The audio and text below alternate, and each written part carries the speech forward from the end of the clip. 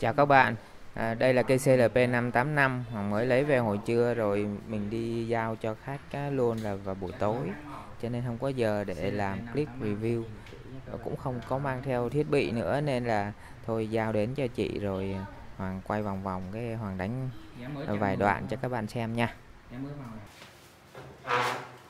Đây là cây đàn 585 PE nha các bạn.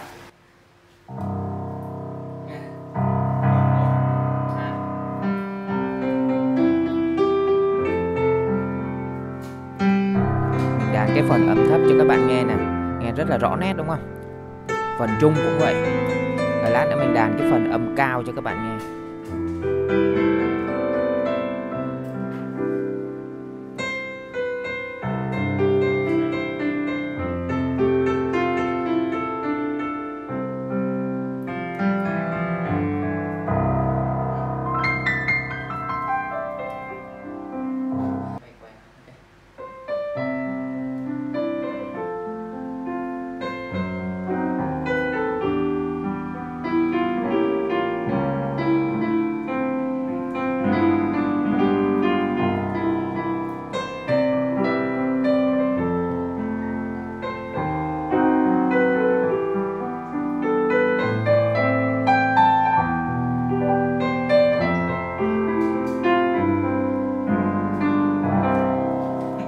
Vậy nhiều. Ờ.